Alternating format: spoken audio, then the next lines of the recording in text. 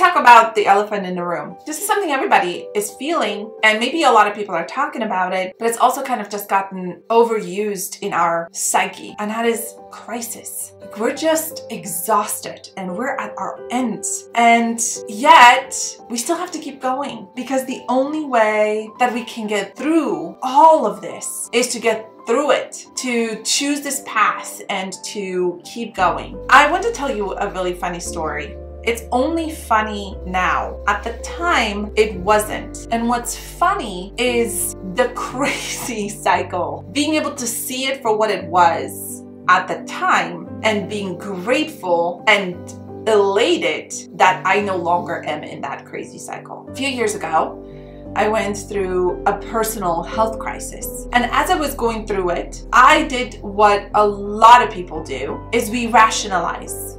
We think, you know, it's not that bad. I still got this. This is what I can do. There we compartmentalize and we rationalize. And that's exactly what I was doing. I was going through this crisis. It was getting worse and worse and worse. And it took some months for it to get to this peak where I was pretty well out of commission. I mean, completely unable to walk from my bedroom to my front door. And during that time, I had a lot of good support from my family and from my friends and they knew that what I needed was that connection. I could not lose connection with people. My dearest best friend, she came to take me on a walk. Now, this was going to be a very ambitious project, a really ambitious thing to do because walking wasn't necessarily something I was able to do. I was too weak um, and really not able to to walk really far. But she was like, let's just let's just go, you know, maybe like 15, 20 feet up the sidewalk. She was coming over and I wanted to show her that I was good, that I could do this, that I was able to to actually walk that I was strong and capable and that this crisis, this, this health thing, it had nothing on me. I was going to persevere.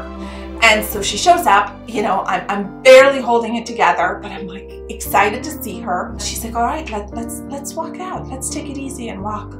And, and I had her wait for me because it occurred to me that what I needed was a pair of earrings because I hadn't put on I hadn't put on my earrings, y'all. So I went to the bathroom where my jewelry cabinet is and put on a pair of earrings to go on a walk with my best friend.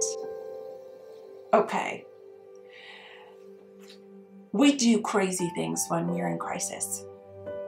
We try to compensate for all the expectations that crisis came in and threw out the window because that is the one thing that crisis does. Whether your expectations are spoken or unspoken, crisis comes in, crumbles it all up, and tosses it out. And we don't know what to do. And so we grasp. We grasp for things. Maybe we overeat. Maybe we overdrink. Maybe we overwatch TV. Maybe we don't move. Maybe we cry. Maybe we delve ourselves into work. Somehow we do this thing that we try to prove to ourselves and the world and our best friends that we got this. Maybe we do. Maybe we do for the most part, even. But you know, is it not true that crisis comes in and destroys or threatens to attack our alignment? Where we no longer know exactly what's up and down, what our skills and strengths are, what our mission and vision is, what our capabilities are, how far we can go, how far we have come.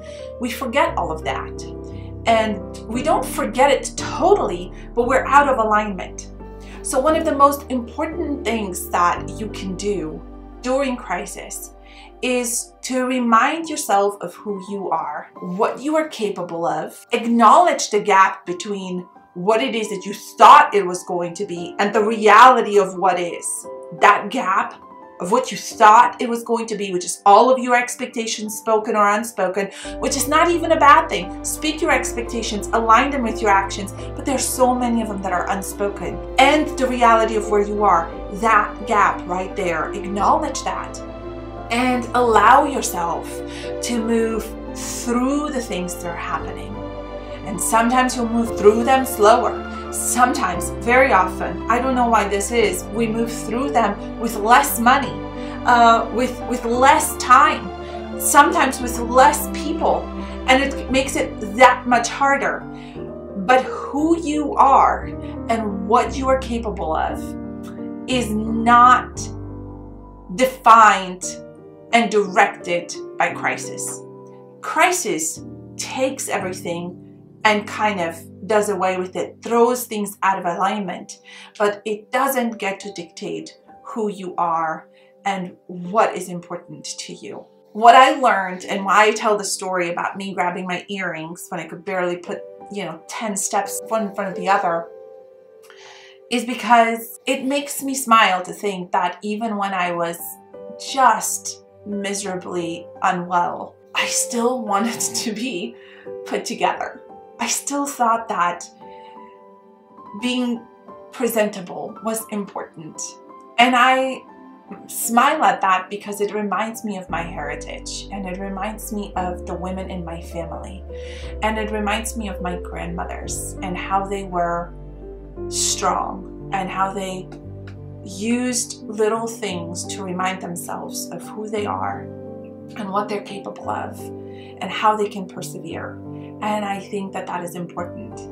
And it also reminds me that it's important to have people around you who can call you on your, you know, on your stuff, who can say, "Be, just just let it go for one minute.